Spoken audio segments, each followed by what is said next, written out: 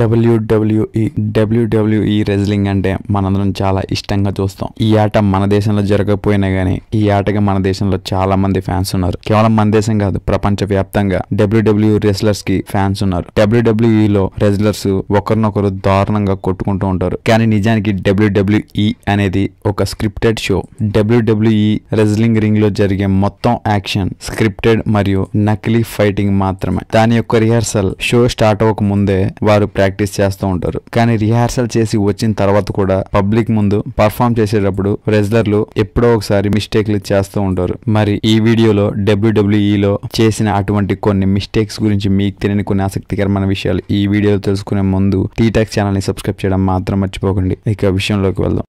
పంతొమ్మిది వందల ఎనభై సంవత్సరంలో జాక్ రోవర్ట్స్ అని పిలువబడే ఈ రెజ్లర్ తనతో పాటు ఒక పెద్ద అనకొండను తీసుకుని రింగ్లోకి వచ్చాడు. రింగ్లో ఫైట్ చేస్తూ ఫైట్ చేస్తూ తన అపోనెంట్ రెజ్లర్ని భయపెట్టించడానికి ఆ అనకొండని అతని మీదకి విసిరేస్తాడు. అలా ర్యాండీ సేవేజ్ అనే రెజ్లర్తో ఫైట్ చేస్తున్నప్పుడు తను రింగ్లో తన చేతుల్ని రింగ్ మధ్యలో ఇరికించేసి ఆ పాముని బయటికి తీశాడు. కానీ నిజానికి ఆ పాము ఏం చేసిందో మీరే చూడండి.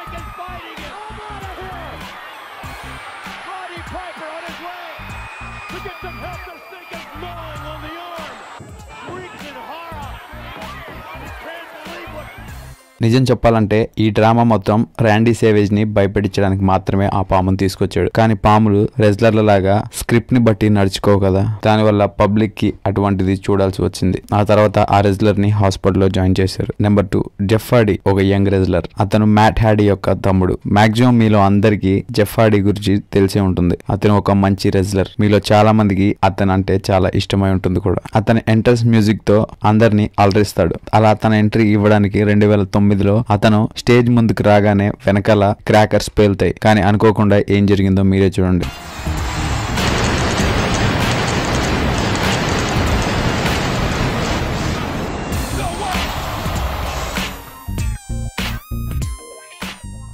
చూశారు కదా అతని ఎంట్రీ కోసం పెట్టిన క్రాకర్స్ అతని మీద పడి అతని ప్రాణాల మీద వరకు వచ్చింది. ఈ ఘటన జరిగిన తర్వాత చాలా కాలం వరకు జెఫ్ఫాడి రెజ్లింగ్కి రాలేదు. Number three. రెండు వేల ఎనిమిదిలో సమ్మర్ స్లామ్లో భాగంగా షాన్ మైకిల్స్ తన భార్యతో పాటు రింగ్లోకి వచ్చాడు. అందులో షాన్ మైకిల్స్ రెజ్లింగ్కి రిటైర్మెంట్ అనౌన్స్ చేద్దామని వచ్చాడు. కానీ అప్పుడు వారిద్దరి మధ్యలో గొడవ జరిగి అప్పుడు క్రిస్ జెరికో షాన్ మైకిల్స్ని కొడదాం అనుకున్నాడు కానీ షాన్ మైకిల్స్ తప్పించుకోవడంతో ఆ దెబ్బ వెళ్ళి షాన్ మైకిల్స్ వైఫ్కి జరిగింది. అక్కడ ఏం జరిగిందో ఇప్పుడు మనం చూద్దాం.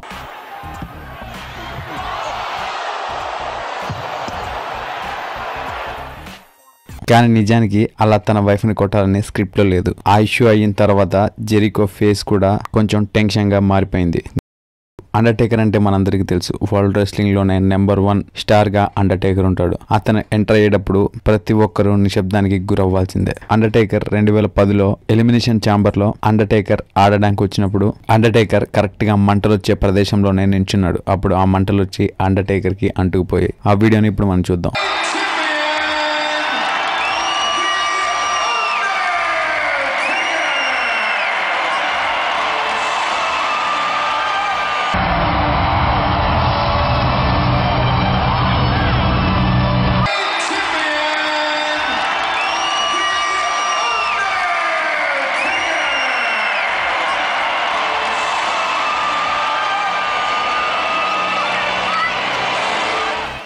అండర్టేకర్ మొత్తం ఒళ్ళంతా కవర్ చేసుకుని వచ్చాడు కాబట్టి అండర్టేకర్ ఆ మంటకి కాలిపోకుండా ఉన్నాడు.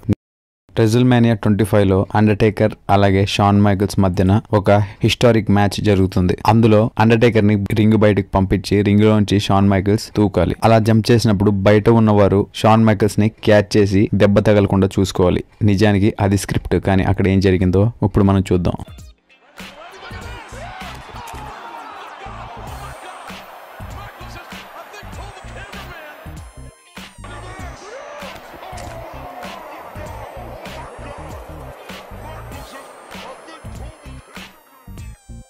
అండర్టేకర్ని క్యాచ్ చేయకుండా షాన్ మైకల్ పక్కకు తప్పుకున్నాడు. కానీ అండర్టేకర్ చూసుకోకుండా కెమెరామ్యాన్ మీదకి దూకేయడానికి వచ్చాడు. కానీ షాన్ మైకల్స్ కెమెరామ్యాన్ని తప్పిద్దామని ప్రయత్నించే లోపే అండర్టేకర్ కెమెరామ్యాన్ మీద పడిపోయాడు. చూసారు కదా డబ్ల్యూడబ్ల్యూఈ రెజ్లింగ్ రింగ్లో జరిగిన కొన్ని మిస్టేక్స్ గురించి మీకు తెలియని కొన్ని ఆసక్తికరమైన విషయాలు ఈ వీడియోలో. ఈ వీడియో కనుక మీకు నచ్చినట్లయితే లైక్ చేయండి షేర్ చేయండి. ఇలాంటి మరికొన్ని ఆసక్తికరమైన విషయాల గురించి తెలుసుకోవాలనుకుంటే టీ టాక్స్ ఛానల్ సబ్స్క్రైబ్ చేయడం మాత్రం మర్చిపోకండి. Thank you for watching